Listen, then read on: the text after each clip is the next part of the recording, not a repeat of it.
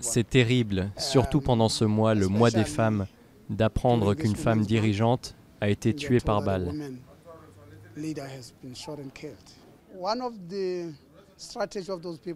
L'une des stratégies de ces gens, c'est d'instiller la peur chez nos membres, afin qu'ils aient peur de rejoindre le NUM. C'est pour cela qu'ils continuent à terroriser les gens, et du coup, certains démissionnent du syndicat, mais d'autres restent loyaux et restent membres.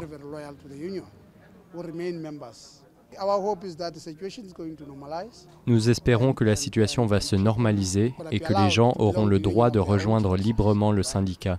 Ces personnes se battent contre la liberté d'association.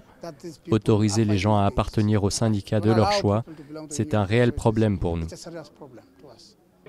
and yes. they should encounter if completely siyo kana again the issue ya ya ya terms registry